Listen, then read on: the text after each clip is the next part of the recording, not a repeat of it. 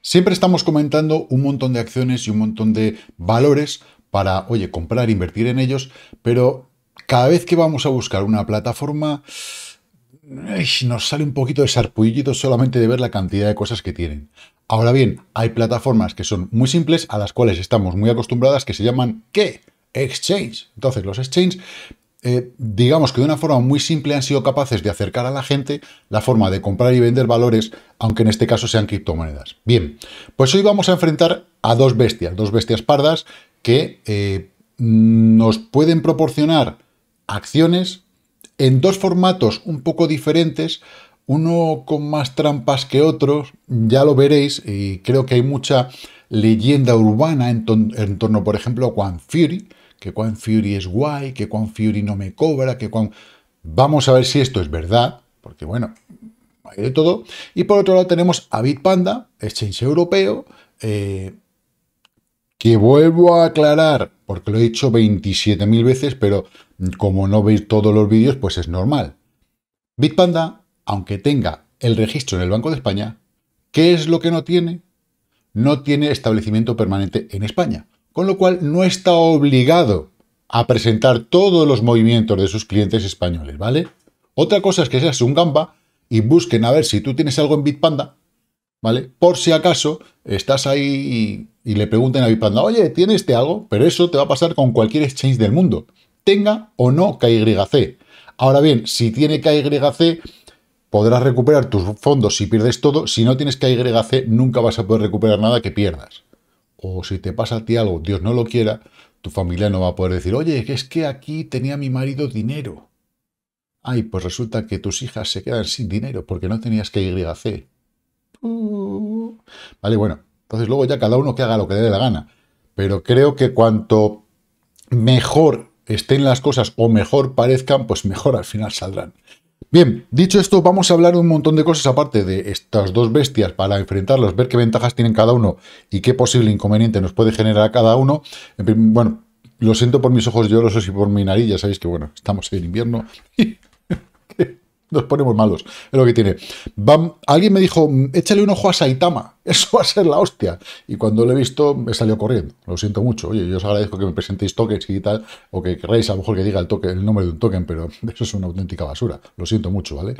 Em, bien, em, AMD y Tesla, que me las habéis pedido, las vamos a ver, las tenemos pendientes, no se me olvidan, os lo he puesto en comentarios, lo que pasa es que, bueno, creo que hay, hay un momento adecuado para para ello. Y vamos a ver esto de, también evidentemente vamos a ver Bitcoin porque terminamos la semana, vamos a llegar a un punto del fin de semana que puede ser bastante interesante, ahora veremos para qué, se puede sacar un pellizquito.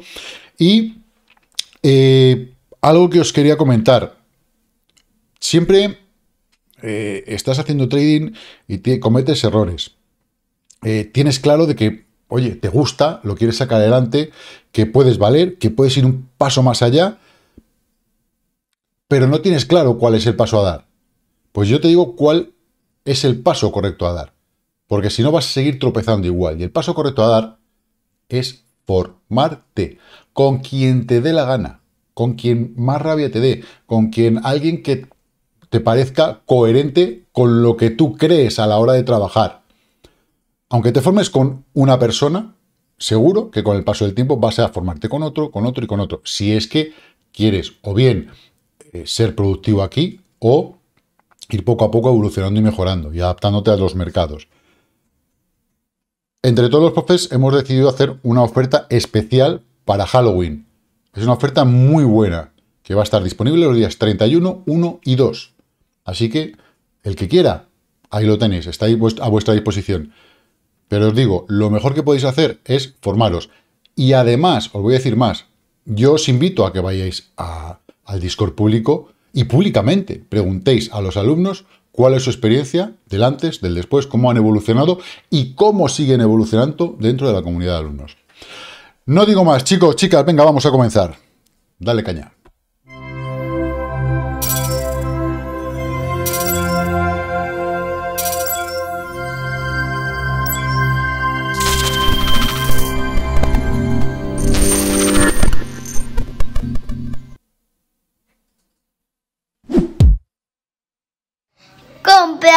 Curso de mi abuelo. Eso, eso, eso, compra el curso de su abuelo, que si no, la pega un yuyu. Bueno, vamos a empezar por Bitpanda. Y bueno, antes de ir a los límites en Bitpanda, ¿vale? Para que veáis cada cosa, quiero enseñaros eh, esto. ¿Quién puede utilizar Bitpanda? En principio, para ciudadanos europeos, aunque no seas europeo, pero si tienes una residencia en Europa, X, la que sea, es bastante. Yo creo que, a buen entendedor, pocas palabras. Si tú tienes una dirección en un país europeo, ¿vale? Con tu documentación de otros países vas a poder abrirte una cuenta. Me explico. Yo mi documentación es argentina, porque soy argentino. Venga, vale, pues desde Argentina o lo que sea, hago una cuenta en Bit, pero resulta que mi primo vive en España. Pues con la dirección de España y mi cuenta argentina, a lo mejor puedo hacer algo, ¿vale? Yo os doy ideas para que luego lo que cada uno quiera hacer. Eh, cumple la normativa europea, tiene esas seguridades, cosa que, pues por ejemplo, Quan Fury no tiene. Quan Fury tiene más bien pocas en algunos aspectos, en otros, en otros aspectos están muy bien. ¿Y cuáles son las implicaciones fiscales de las rentas asociadas a las acciones, los ETF y los ETC, Vale, pues muy sencillo. Te dice, las implicaciones fiscales relacionadas con la inversión de acciones ETF dependen principalmente de las normas fiscales de tu país de origen, es decir, del país en el que se te considera residente a efectos fiscales, lo que ya sabemos.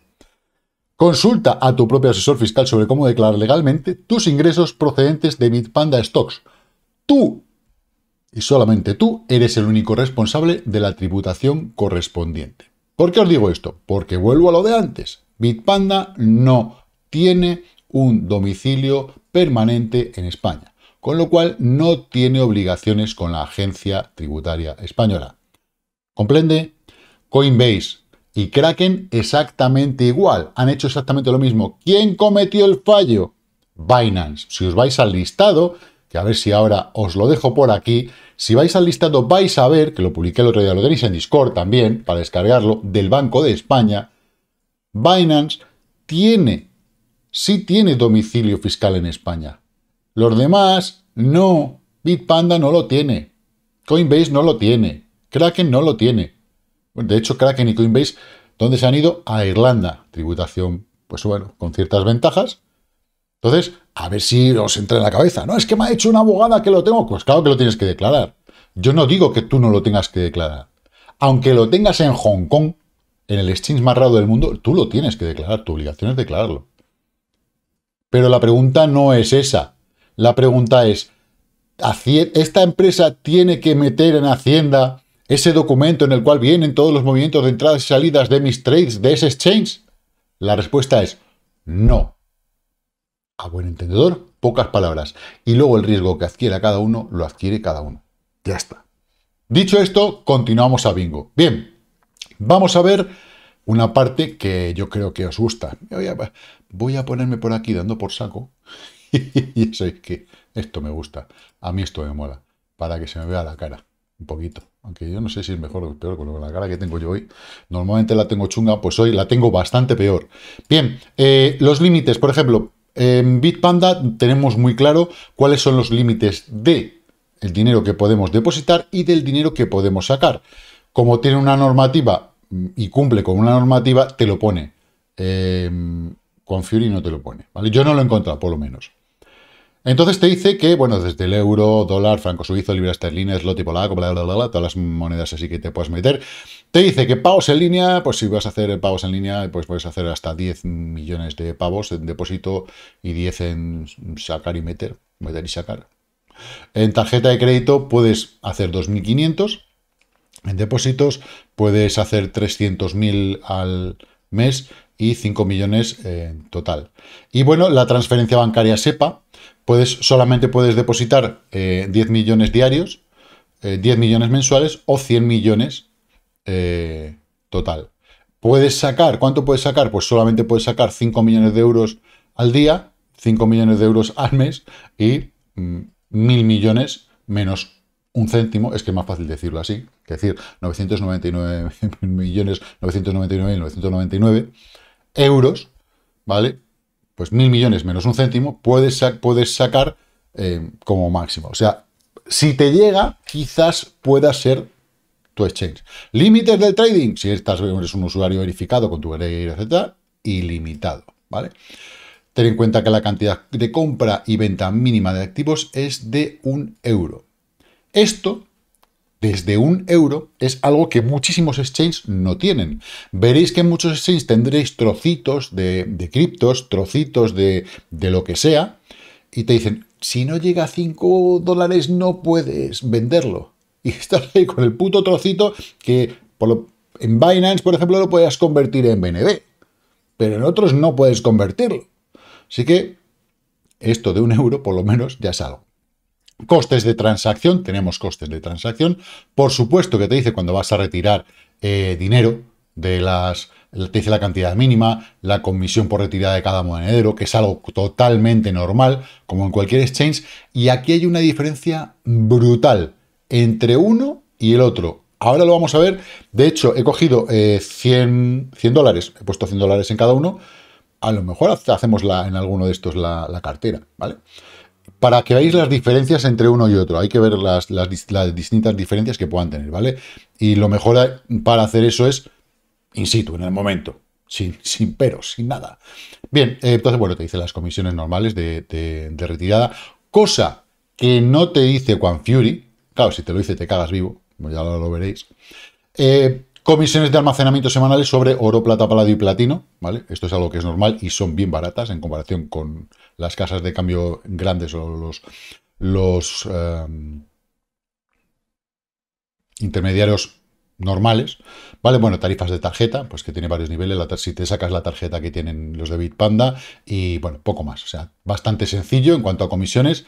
Vuelvo a repetir, en Quan Fury, como te dice que no tiene comisiones, eso no quiere decir que no te esté cobrando, ¿vale? Pero te está diciendo, no tengo comisiones, con lo cual no te puede poner tampoco comisiones. Eh, si fuese un exchange o un, un, intercambio que estuviese en Europa, tendría que ponerlas por cojones, porque la ley le obliga a ponerlas. Pero como está en Bahamas, ¿os suena de algo? Ah, Bahamas, sí, donde FTX, justo en el mismo sitio.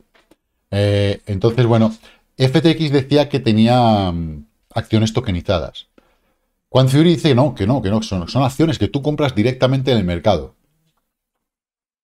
Tampoco ha demostrado ni lo uno ni lo otro, ¿vale? Bien, em, ¿qué más? Si alguien tiene algo que decir al respecto, oye, me lo decís y a lo mejor yo estoy equivocado, ¿vale? Pero bueno, eh, ¿quiere decir esto que es mejor uno u otro? No, ¿vale? Cada uno lo vamos a utilizar para una cosa distinta. Y, luego más adelante os voy a decir para qué. Acciones. Bueno, en acciones aquí ya sí podemos empezar a ver eh, algunas cositas, ¿vale? Tenemos en Fury, tenemos acciones que podamos eh, tradear. Eh, tiene aquí un listado que dice que son 1800, en realidad son 1774.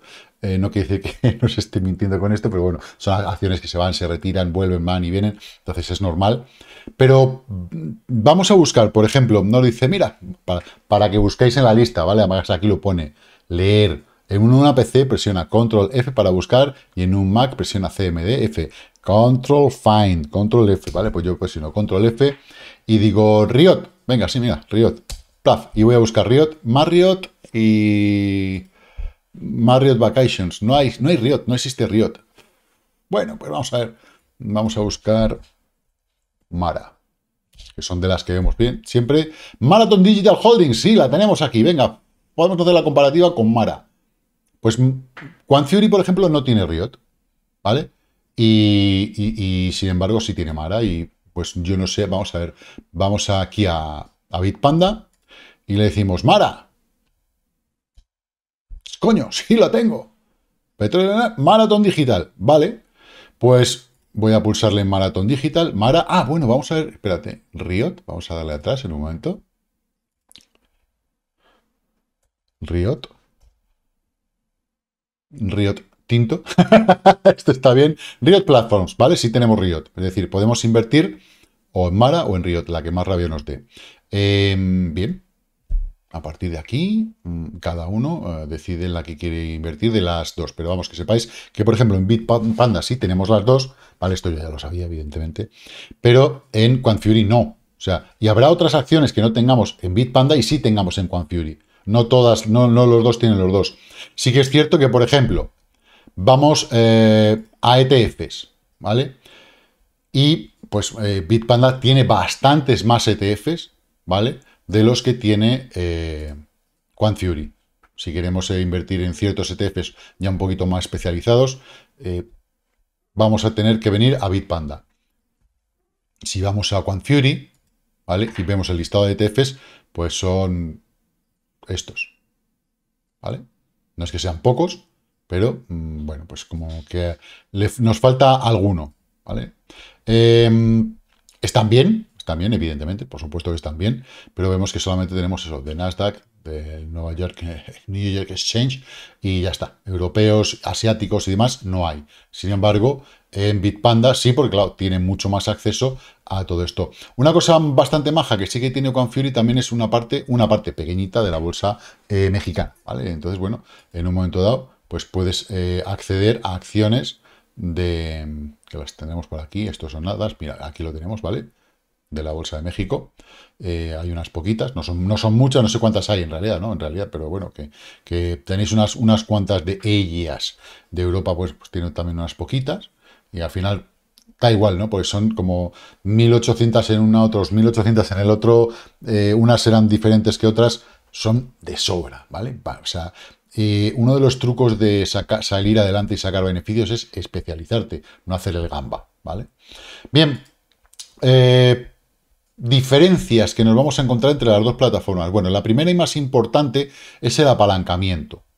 Eh, vamos a ver si lo tengo por aquí. No, no, vale, pues vamos a ir aquí. El primero es el apalancamiento. Si yo aquí le doy a descubrir, Veo todos los activos, los activos cripto, apalancamiento, criptoíndices, acciones, ETFs, materias primas y metales. Los tiene separados los metales aparte, ¿vale? Bueno, pues los principales que hemos visto, que sí que tienen una pequeña tarifa ridícula, es un 0.001 de, o algo así de, custodia, que es mucho más barato, ¿vale? Que los intermediarios normales. Tenemos materias primas, tenemos más en materias primas aquí de lo que tenemos en, en Fury. Eh, pero, ¿qué pasa? Que aquí en, Bitpanda no tenemos futuros.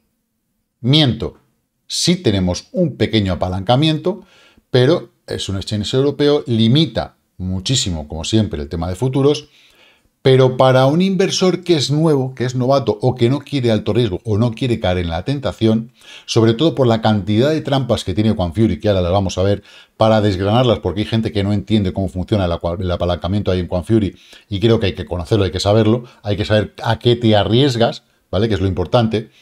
Eh, que es, tremendo, pues es una engañifa. A mí me parece una engañifa tal y como está puesto, pero una vez que te acostumbras, bueno, pues ya está. Pero claro, todo el nuevo, los nuevos, ¿qué pasa? Que siempre metes, al final metes la pata, es normal, nos ha pasado a todos. Eh, y de toda esa gente que mete la pata, pues es tachan, tachan, tachan, tachan, ¿vale? Pero bueno, eh, ¿qué pasa con el apalancamiento aquí? Pues bueno, si yo quiero, por ejemplo, Bitcoin en cortos, te deja Bitcoin en cortos uno, quiere decir, me puedo poner en largo, me puedo poner en corto, ¿vale? Sin mm, tener un apalancamiento, en realidad. X, por eso corto por 1. Largo sí me puedo poner a 2X. Y ya está. Y no le pidéis más, ¿vale? A partir de aquí, Cardano, Chainlink, 2X, 2X. 1X en Ethereum, 2X, ¿vale? En corto. Y en largo tenemos 2X, 2X, 2X, 2X, 2X, 2X. Ya está. Esto es todo lo que tenemos en apalancamiento. No hay nada más. O sea, si tú lo que buscas es una plataforma para hacer futuros, pues Quan Fury puede ser una muy buena solución siempre y cuando tengas claras algunas cosas que ahora vamos a ver. Pero si tú quieres comenzar a ver cómo funciona ese apalancamiento eh, o quieres decir, mm, voy a hacer un, largo, muy largo, ¿vale? Eh, de todo el ciclo de Bitcoin, por ejemplo, poniendo una cantidad a 2x. ¿Vale? Pues esta sí es una buena opción. En cuanto a futuros. Ahora, si yo quiero eh, aprender a invertir y quiero eh, ir viendo un poco de, índices cripto, que tiene varios índices cripto que están bastante bien, acciones, ETFs, materias primas, quiero ir invirtiendo en todo esto y acumulando, para mí es bastante mejor opción Bitpanda que Fury. Y podemos decir, ¿por qué? Pues mira, una de las cosas que es el precio. Normalmente el precio suele ser como un 5 un 6% más bajo en Bitpanda. ¿Por qué? porque son acciones tokenizadas. Ah, claro. Entonces ahí está el kit de la cuestión. Como son acciones tokenizadas, no tengo dividendos. Pues falso.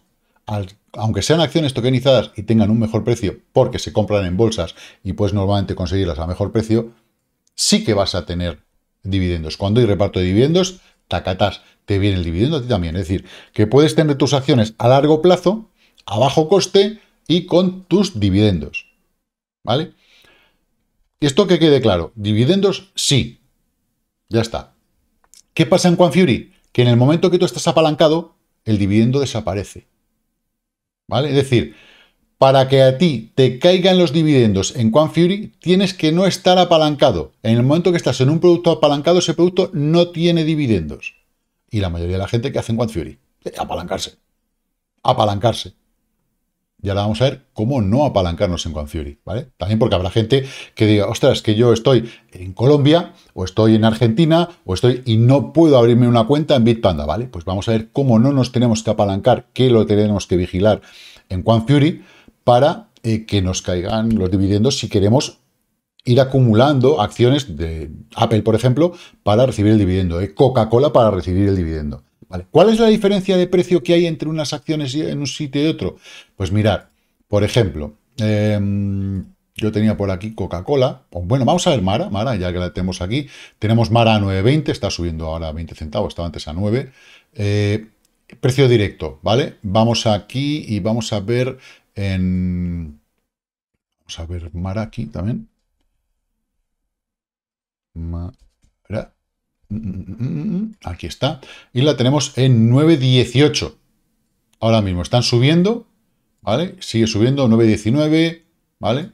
9.18, o sea que los precios, más o menos, hay algún momento en que podemos tener un diferencial importante. Normalmente a favor de quién? Normalmente a favor de Bitpanda, ¿vale? Normalmente suele ser a favor de Bitpanda. Eh, en cripto, más o menos se mantienen también igual, es decir, no hay eh, el spread que al final nos pueden cobrar uno o el otro, no es grande, ¿vale? No es demasiado grande.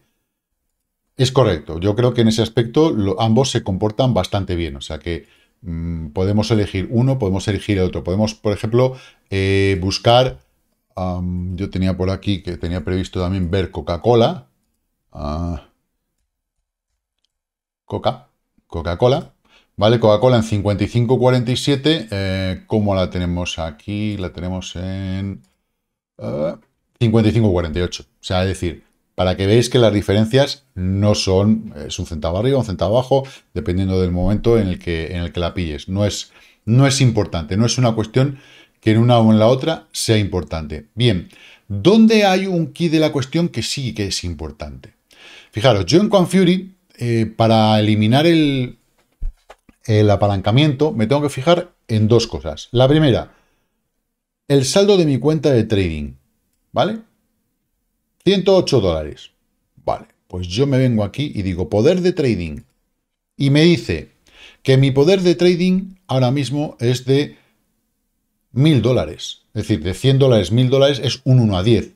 Es decir, estoy a 10x apalancado si utilizo los 1000 dólares. ¿vale? Pero claro, tú cuando te dejan ahí los mil dólares, al final la mayoría de la gente cae. La mayoría de gente cae. Y ese es el problema que tienen este tipo de plataformas. Por eso, por eso digo, es una engañifa, entre comillas. Ellos te avisan, te dicen, bueno, te avisan, tienes que entenderlo y tienes que pillarlo y tienes que buscar cómo desapalancarte. Si no, hay mucha gente que ha, se ha, dejado de utilizar Fury porque no sabía cómo utilizarlo. Y esto es un problema. Entonces, si yo le doy poder de apalancamiento, le doy al siguiente a 2000, ¿vale? ¿Qué quiere decir? Que con mis 100 euros, mis 100 dólares, yo puedo tener 2000 para gastar. Eso es un apalancamiento de 20 a 1. Ojo, 20 a 1. Un apalancamiento de 20 a 1, cuidado. Si un apalancamiento de 10 a 1, el anterior, este, ¿vale? El primerito, resulta que a mí me liquida la cuenta a mí me liquida la cuenta de lo que yo tenga al 9% aproximadamente, dependiendo del exchange, dependiendo de la llamada, dependiendo de los costes, este, evidentemente, el siguiente punto, me va a liquidar la cuenta a un 4.5 aproximadamente. Entonces, cuidado con estas cosas, porque luego vienen las seis madres mías, me han liquidado, me han fundido, me han machacado. Ahora bien, ¿qué pasa? Si yo le quiero poner a 3.000, ¿me da? Me dice, no. Para ponerlo a 3.000, el saldo mínimo, perdón, en 6.000 ya, por el 6.000, eh, el saldo mínimo de tu cuenta tiene que ser de 300 dólares. Tendría que meter más dinerito y me darían hasta 6.000 para jugar, pero con ese riesgo, con el riesgo de un 20x. Ahora bien, si yo metiese 300 dólares y me fuese a un poder de trading menor, lo que tendría, en vez de un 1 a 10, ¿vale? Sería una tasa más baja, menos riesgo. Al final metes más pasta, menos riesgo. Em, entonces, ¿qué tengo que hacer? Yo me voy a operar y cuando voy a, a comprar o a vender, voy a abrir una posición, de oso, de toro, venga, una posición de toro. Le digo, yo le puedo decir aquí un precio de, yo que sé, quiero comprar en 56 dólares y el valor, ¿vale? ¿Cuánto me quiero gastar? Si yo tengo 108, ¿vale? Y yo le digo 500, me lo puedo comprar. Me dice, confirmar, ¿veis? Puedo comprarlo. ¿Por qué? Porque tengo hasta 1000. Mi poder de trading es hasta 1000. Fijaros que aquí arriba pone poder de trading 500 barra 1000. 500 que estoy utilizando ahora mismo. Vale, pero yo no quiero utilizar eso. Yo quiero coger y decir, voy a comprar 56. Me voy a comprar solo una acción. Solo una acción, ¿veis? Que me pone una acción, ya está, lo puedo confirmar y comprarla. Y mi poder de trading, ¿vale? No supera todavía la resta, la el diferencial. Todavía no me he gastado mis 108 pavetes, los que tengo ahí. ¿Vale? Entonces, y mientras yo no pase de eso, mi multiplicador no empieza a andar. Si yo lo que quiero es no apalancarme, nunca debo de pasar la cantidad que pongo aquí con la cantidad que hay aquí. En el momento que yo caigo en la tentación de utilizar el restante, me estoy, empieza a subir mi apalancamiento. Si no lo utilizo todo, vamos a suponer que tengo 1000 y yo utilizo 500. ¿Qué significa esto? ¿Qué significa esto? Que mi apalancamiento en vez de 1 a 10, ¿vale? O 10 a 1, sería 5 a 1. Pero no debería de utilizar nada más. Si quiero que mi apalancamiento sea 3 a 1, pues debería utilizar 300. Tendría un apalancamiento 3 a 1. Espero que lo entendáis. Si tenéis alguna duda, vosotros me ponéis un, un eh, un comentario y yo os voy a contestar. Ya sabéis que yo a todo el mundo le contesto. Diga lo que diga, a todo el mundo le contesto. Eh, dicho esto, ¿qué pasa? Que todas estas complicaciones yo no las tengo en Bitpanda. En Bitpanda incluso veis que tengo dos opciones. Tengo el gráfico de Coca-Cola, que lo puedo ver aquí así de sencillo, o lo puedo ver así, pues con una pequeña barrita, tiene un pequeño gráfico, sin ni sea demasiadas complicaciones. ¿Por qué? Porque supone que yo mi, mi análisis ya lo estoy haciendo aquí. Con lo cual, si yo mi análisis tengo que voy claro que voy a comprar eh, aquí en 4.100 y pico ah, voy a vender en 4.200, pues yo me vengo a mi plataforma tranquilamente y le pongo mi compra y mi venta. Mi, mi venta. Ahora, ¿dónde tenemos una trampa? A la hora de comprar y vender, no tenemos. A la hora de hacer swaps, más o menos son bastante parecidos, las comisiones son bastante similares, eh, no tiene mayor historia, ¿vale? Pero hay amigos Vamos a hacer una prueba muy sencilla. Enviar. Y yo quiero enviar Bitcoin. Tengo 0.03, en los dos tengo lo mismo. Eh, bueno, en Quantfury me ha dado más problemas y tengo, creo que tengo algún centavo menos. Pero bueno, no importa. Yo le digo Bitcoin, dirección blockchain. Eh, tengo que comprar. Vamos a coger la, de aquí, la de Quantfury. Um, ¿Dónde está esto aquí? Cuenta, saldo, billetera de spot, Bitcoin. Depositar. Venga, lo copio y digo, venga, voy a mandárselo, voy a mandarlo a, a OneFury. Le digo enviar a esta cuenta de activos, la comprobáis bien la cuenta siempre, por lo menos los primeros números y los finales, que es lo que yo creo que hacemos todos. Eh, le damos a enviar una nueva dirección y aquí fijaros lo que nos dice, comisiones totales incluidas, que es 1,53 dólares por enviar el dinerito. Esto, en principio, ¿veis? Para obtener más información sobre las comisiones, haz clic en el icono. Ya, ya lo hemos visto antes. ¿Cuánto nos cobra? 0.00045. Cuatro ceros, 45. ¿Vale? Es decir, 1,53. Muy buena comisión. Muy buena comisión. Es decir, te está cobrando prácticamente la comisión de la red y un poquitito que ganan ellos. ¿Vale? ¿Cuánto cobra Fury? Vamos a cancelar aquí. Ah, cerrar. Vamos a decir que vamos a hacer un depósito en criptomonedas de Bitcoin. Eh, ver la dirección del monedero, lo entiendo. Copiar. Os dejaré mis direcciones por aquí por si me queréis hacer alguna donación. Em, y vamos a Fury. ¿Vale? Vamos aquí a Fury. Y vamos a decirle que eh, lo que queremos en vez de depositar es retirar. Ay, no me deja retirar. Porque lo tengo en... ¿En, ¿en qué? En USDC, en Tethers. Ah, no, que lo tengo en la otra cuenta. Espérate, vamos a hacerlo. Importante. Claro, ¿veis? Un pequeño detalle. Eh, aquí, ¿qué hay que hacer? De la cuenta de trading, ¿vale? Que es donde está el dinerito, hay que pasarlo a la billetera de spot. Bueno, pues para no liarnos demasiado, nos venimos siempre aquí a la parte de cuenta. Una vez que le damos a cuenta, venimos a la cuenta de trading y en cuenta de trading, en el saldo de cada cripto que tengamos, pulsamos y le damos transferir a billetera spot. Y yo le voy a decir, todo, quiero que me transfieras todo, no quiero, quedarme sin, no, no, quiero tener poder de trading. El transferir de una cuenta a otra interna es gratis, es decir, no te van a cobrar por pasar de la cuenta de trading a la de spot y de la de spot a la de trading, ¿eh? ya sería la leche. En fin, le damos a transferir, confirmar y automáticamente, pues ya lo vamos a tener, si vamos otra vez a cuenta, lo tenemos en la billetera de spot, ¿vale? Ahora, la billetera spot yo quiero ir, clic, quiero retirar, eh, quiero retirar todo y lo voy a mandar de Fury pues a la parte de Bitpanda. Le pongo ahí la billetera, el total de lo que quiero eh, mandar. Me dice tarifa de red. 0.0004. Y parece que es lo mismo, incluso parece que es menos.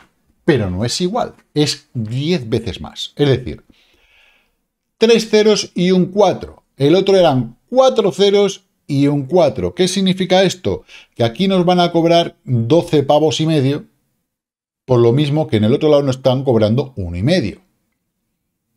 ¿Veis dónde está la diferencia? Una, bueno, una de ellas. El resto tampoco. El resto de rascar un poquito más de aquí, un poquito más de allí. Eh, si la aplicación lo vale, bueno, pues el comisionaje al final cuando, cuando eres productivo, el comisionaje te tiene que mm, preocupar más bien poco. De hecho, a no ser que sea una burrada. En este caso, bueno, pues se columpia un poquito la diferencia de uno a otro a la hora de traspasar tu dinerito. Ahí cambia. Es donde está la, gran diferencia está ahí. Aparte del tema de futuros, uno, eh, cómo te engaña a la hora de apalancarte, que tienes que tener mucho cuidado, que siempre te tiene la tentación ahí, cosa que en el otro lado no vas a tener. En Bitpanda tú esa tentación no la vas a tener. Entonces, normalmente tus fondos los vas a gestionar bastante mejor, de una forma más sencilla y de, bueno, pues no cayendo en esas tentaciones de gastarnos lo que no tenemos. Y una de las mm, premisas a la hora de trabajar en los mercados es no gastarte lo que no tienes. No inviertas lo que no puedas perder. ¿Vale? Entonces, ¡no, yo lo puedo perder! Sí, sí, luego lloráis. Luego venís llorando, que ya os conozco yo. Bien, dicho esto, pues bueno, básicamente estas son las diferencias que hay entre uno y otro. Eh, mis conclusiones personales, ¿para qué utilizaría uno y para qué utilizaría otro? Si yo fuese novato, sin duda, sin duda alguna, utilizaría Bitpanda. Si yo fuese más avanzado, teniendo claro esa parte del apalancamiento, utilizaría Fury. A no ser que, bueno, pues también eh, la madurez a la hora de invertir te dice un exchange que sea un poco más seguro. No esto no quiere decir que eh, Bitpanda sea mejor, sea peor, sea más seguro, sea menos seguro. La normativa que cumple Bitpanda le da 20.000 vueltas a la que cumple Fury en Bahamas como la que cumplía FTX, ¿vale? Entonces, tan bueno es uno como tan bueno es otro, cada uno ver lo que os compensa y lo que os conviene, pero eh, tener claro cómo se utiliza. Más o menos esta es la base, a partir de ahí ya operar, comprar, vender por una orden de stop, eso ya es otra historia, pero por lo menos tener clara cómo funciona una plataforma, más o menos cómo funciona otra plataforma, y a partir de ahí yo haría lo mismo que he hecho yo, meter 100 pavos, empezar a toquetear, y si lo perdéis, pues bueno, son 100 pavos. No, venga, vamos a comprar ya y no, no, toquetear, primero toquetear. Cuando dicen entrenar, entrenar es que si no es con dinero de verdad. Falso. Lo importante, si tú tienes una plataforma en la que tú puedas tener una cuenta eh, con dinero de mentira, ¿vale? Lo importante es que aprendas a utilizar la plataforma. Cuando aprendes a utilizar la plataforma vas a cometer muchos menos errores.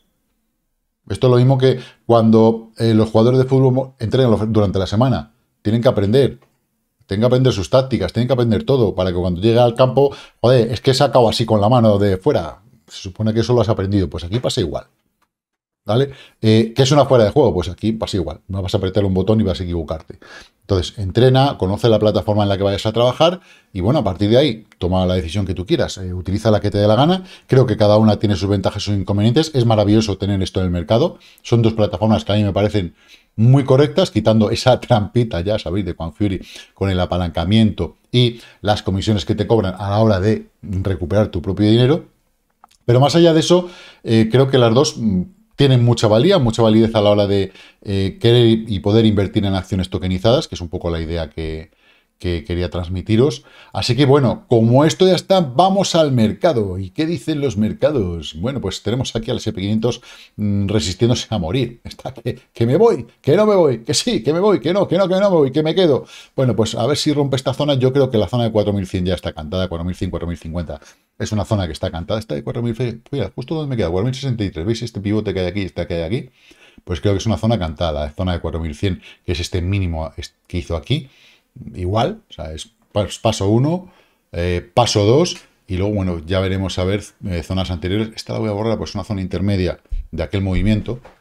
Veis que tiene este máximo, este máximo, este máximo. Entonces, eh, no, es, no, es, no es relevante ahora mismo, pero lo que sí es relevante son este mínimo y este otro mínimo que hay aquí. 4.000, 4.050 aproximadamente, tenerlos ahí muy presentes porque em, perder, ya decíamos que perder esta zona horizontal era tremenda, luego es una buena resistencia. A perder ya este canal hacia la baja, pues ya nos empieza a decir un poquito más de cosas. Aunque el mercado dentro de la que está cayendo, demasiado bien está. Dicho esto, Bitcoin. ¿Qué pasa con Bitcoin? Pues que sigue haciendo su banderita. Y alguien me ha preguntado, muy, muy inteligentemente, por cierto. Em, a ver si lo tengo por aquí. Mm, joder, la mierda esta, todas las noticias ahora que les da por... Menos mal que lo he cancelado. Em, ¿Dónde lo tengo? ¿Dónde lo tengo? ¿Dónde lo tengo? Aquí. Vale, esta es una, pero no, no es esta la que yo quería ver. Vaya hombre. Vaya hombre. Me habéis preguntado sobre la banderita. Vamos a, venga, vamos a ponerla, da igual. Eh, y yo tengo una... Eh, a mí me hemos puesto una... Una banderita, o con un canal paralelo, ¿vale? Aproximadamente algo así. ¿Te quedas? ¿Vale? Más o menos esto. En la banderita y yo digo, esta banderita, ¿vale? Mientras se mantenga alcista, está guay. ¿Esta es la banderita de toros? No, no, no, no, no, no. A ver, no nos vayamos a confundir. Una cosa es la banderita hasta ascendente, que lo que nos hace es, ver máximos donde nos puede ir generando las divergencias, tanto con el, el, el joder, lo diré, madre mía, cómo estoy, el volumen, como con el RSI. Yo creo que la debo de tener aquí. La de esta mañana. Es que, o sea, para ser más... Ah, mira, aquí está, sí, efectivamente. ¿Vale? Entonces, eh, una cosa es esto, ¿vale? Para ver nuestras divergencias de una forma bastante más clara. Tenemos una divergencia muy clarita en cuanto a volumen, una, divergencia muy clara en cuanto a RSI, ¿vale? Eh, mientras cuando, siempre y cuando la, eh, el precio siga manteniendo la banderita. Ahora, la banderita normalmente de Toros, ¿cómo suele ser? ¿Qué formas suele tener? Pues es esta. Normalmente va a venir desde este máximo al siguiente y lo que va a generar va a ser esto. Es decir, ahora mismo lo que hemos hecho ha sido irnos al mínimo, al máximo, estamos tonteando por el 50%, ¿vale? Que va a ser así, no lo sabemos todavía, a lo mejor es de otra manera. Y esta banderita que se entra hacia arriba, sale hacia arriba. ¿Sí? ¿Entendéis esto? Espero, que sí, vamos. Eh, ya sé que no me vais a contestar porque estamos en un vídeo que no es en directo, pero normalmente lo que va a dibujar va a ser esto. Yo subo, tonteo y subo. ¿Sí? Cuando es de osos es justo la inversa. Lo único que ahora nos interesa, cuando empieza a generarse esa banderita, esa primera, es las divergencias. El resto a mí me da igual. La forma que hagan, muchas veces son planes, son muy planas, son unos estandartes aquí enormes. Ya no son banderas, son, madre mía, es tremendo, se hacen súper largos. ¿vale? Ya, ya iremos viendo eso en cada momento, cómo se forma. Porque muchas veces cogen y te hacen, pues eso, un canal paralelo aquí, pam, pam, pam, y está aquí, ta, ta, ta, ta, ta, dando por saco. Una vez por debajo del min 50%, otra vez por encima, otra vez por debajo, otra vez por encima. Dependiendo de cómo sea, hay que ver cómo se puede aprovechar ese movimiento, si es que es aprovechable, claro, y si hay que alguien quiere aprovecharlo. Bien, entonces, de momento Bitcoin está bien, está, sigue haciendo su banderita, no, no ha cambiado absolutamente nada. Eh, importante, en el momento que caigamos ya podremos hacer la banderita que hemos dibujado antes, ¿vale? Y a partir de ahí, pues, pues a ver cómo, cómo sigue evolucionando. De momento, muy bien, para, para, cómo está, para cómo baja el volumen y para la que está cayendo en los mercados, yo creo que demasiado bien estamos. ¿eh? O sea, nos podemos pelear con uno y con dos cantos eh, eh, en el hocico. importante, el TP1 hemos tocado, pues bueno, bien. Y es lo curioso es eso, no hemos cerrado todavía, ni la apertura ha seguido por abajo, evidentemente, pero cerramos justo por encima. Y nos quedamos ahí al borde. ¿Qué pasa con el total market? Pues igual, está en una zona de resistencia, no consigue salir de ahí. Y todo esto junto, ¿vale? Junto con la dominancia de Bitcoin, que ha caído y ahora está ahí temblando, está que sí, que no, que no. ¿Qué nos hace pensar? Nos hace pensar que mañana, sábado, sabadete, con los mercados tradicionales cerrados, con los futuros del CME cerrados, es probable que abramos un gap en Bitcoin, pero que las altcoins puedan tirar un poquito, puedan tener un poquito de libertad. ¿Por qué? Porque normalmente, y sobre todo contra Bitcoin, porque normalmente cuando Bitcoin se queda parado, después de una subida se queda parado y se estabiliza, es el momento de jugar a las altcoins. ¿Vale? Sobre todo las altcoins contra Bitcoin. ¿vale? Pero particularmente, en este caso, sabemos que los fines de semana, cuando nos dejan así un poquito libres, fin de semana libre, las altcoins suelen, por eso decimos lo dicho de que, que ya mi mente hace años del sábado, sabadete, día de altcoins, bueno, pues a ver si este fin de semana se cumple, porque tiene todas las características para poder hacerlo. Fijaros que el volumen del market cap, a, falta de 7 horas y media, está muy bien, va, seguramente vaya a superar el del día anterior y sea muy parecido al de hace dos días. Entonces, eso es bastante bueno. Eh, en ese aspecto. El dólar index, por su parte, nos da, joder, la mandinía, las, menos mal que he quitado las notificaciones estas, eh, nos da eh, un reposo, que eso está bien, ese, descanso es muy bueno para el resto de mercados, porque si no, madre mía, había algún país que lo estaría pasando bastante mal. Y bueno, aquí tenemos INJ yendo caminito del objetivo que le teníamos marcado, 13.460, muy bien, muy bien, el, el objetivo está en los 14 y medio, si no me equivoco, 14.517, bueno, 14 y medio.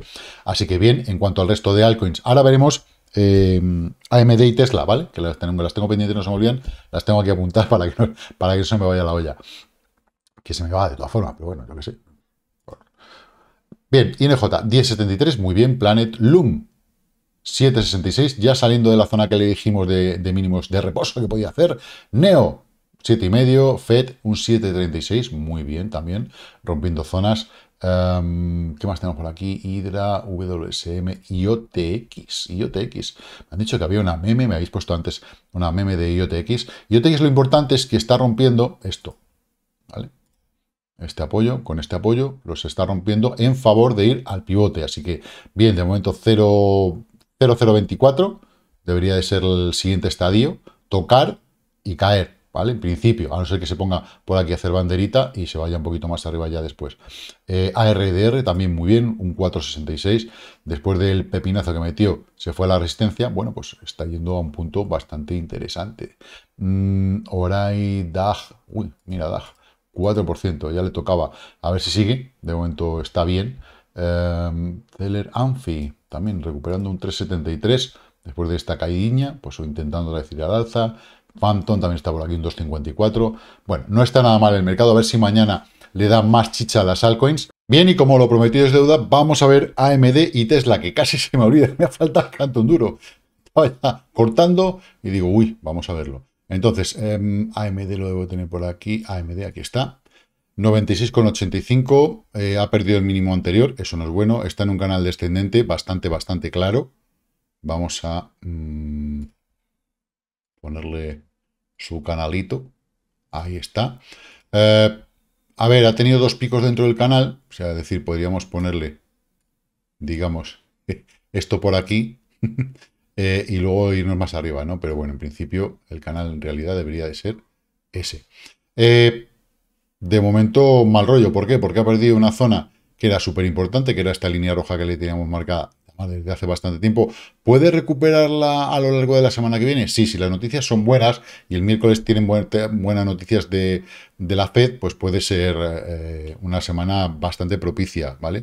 Mm, a partir del miércoles o mm, si nos dan cosas antes. Entonces, por otra parte, soporte importante. Tenemos aquí un soporte antiguo, toda esta zona, eh, comprendida entre los 73 y 75, 75, 73, 36, 75, 75, aproximadamente. Estamos en 96, estamos mucho más arriba. Y antes de todo eso tenemos unos pivotes que son bastante importantes, ¿vale? Nos podemos ver desde este pivote que hay aquí, mm, más o menos, máximo, máximo, máximo, apoyo, apoyo, máximo. Pues bueno, será una zona a vigilar, ¿vale? A tener muy en cuenta la zona de 87, 87 y medio. Es una zona amplia, eh, bueno, amplia. Es una zona que no es demasiado amplia, pero que, no es una línea, me refiero, ¿vale? Entonces, bueno, AMD de momento, de ese último impulso que hizo ascendente, si le medimos cuál puede ser el, objetivo, fíjate que el TP1 nos marca clavadito el 87-26 más o menos, 87 de, de objetivo. O ya TP2 por debajo de la zona de soporte no me cuadra demasiado. Puede ser que vaya ahí, podría ir, por supuesto, pero que no es no, no, hay, no veo una confluencia clara, ¿vale? Pero sin embargo aquí tenemos una confluencia clara, clarísima. La zona de hoy, 87.30. Eh, al alza, si, es, si este retroceso fuese una falla de canal y fuese a ir al alza para intentar romperlo, ¿vale? ¿Qué podría ser? Pues si le tomamos desde ese mínimo ¿vale? Que ha hecho a ese máximo, nos dice que el TP1 está en los máximos relativos anteriores. ¿Casualidad o no? Yo no lo sé, ¿vale? Pero ahí está. Sí, a ver, si me deja, si yo soy capaz. Ahí está.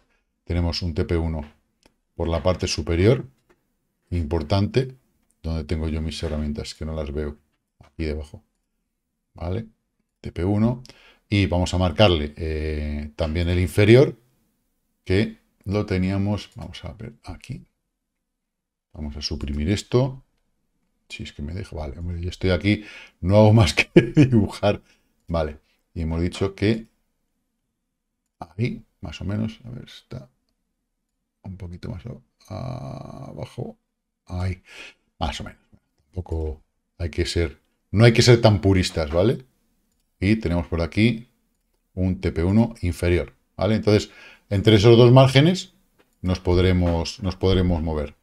Eh, bien, dicho esto, vamos a Tesla. Tesla. La T de Tesla. ¿Alguien me dijo algo de la T? Ah, vale, hay T, la tengo pendiente también. Vamos a verla ahora en un momento. Tesla 208. Uf. Está en una zona de soporte, claro, clarísimo. Ahora mismo, ¿vale? Mm. Vamos a ver si toda esa zona, ¿vale?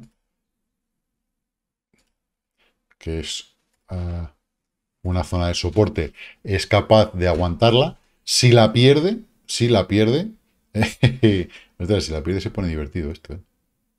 Tenemos aquí una zona intermedia y luego tendremos otra zona un poquitito más abajo, que bueno, comprendida entre este punto de pivote y casi estos. Yo me iría más a, yo me iría más a estos, ¿vale? Porque tocó una vez, dos veces, tres veces y luego ya fue arriba y aquí se ha apoyado. Aquí tiene un gap.